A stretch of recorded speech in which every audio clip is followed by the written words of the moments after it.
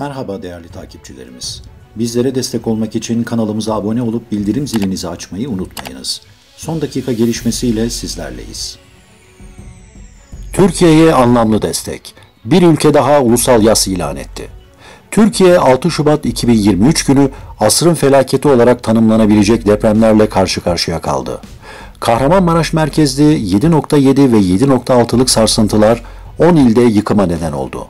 Binlerce vatandaşımız yaşamını yitirdi. Türkiye felaket sonrası yaralarını sarmak için canhıraş bir mücadele örneği sergilerken dünyada tek yürek oldu.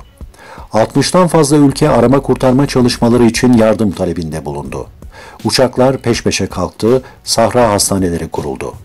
Balkanlarda Türkiye için kenetlendi. Kosova, Makedonya, Bosna Hersek seferber oldu. Arnavutluk'ta ulusal yas ilan edildi.